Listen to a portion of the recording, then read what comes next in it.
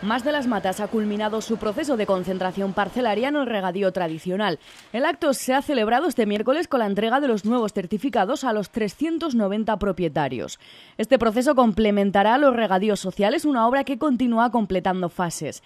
El pueblo ha concentrado 3.000 hectáreas en un proceso de más de 13 años de trabajo y que ha supuesto una inversión de más de 2 millones de euros. Satisfacción porque la concentración parcelaria es el primer paso para esa gran agroindustria que queremos en Aragón. Luego vienen los regadíos, luego vienen los productos de calidad, luego vienen las industrias, pero este es el comienzo y podemos decir que hoy se comienza un día histórico para Más de las Matas. Histórico fue el momento también para el alcalde de Más de las Matas, Pedro Pitarch, que recordó el avance del regadío social, un proyecto que supondrá una inversión total de más de 4 millones. Más de 300 agricultores se beneficiarán y podrán convertir su secano en regadío. El pozo y la red de riego ya están instalados y en breve comenzarán a instalarse la balsa y la estación de bombeo.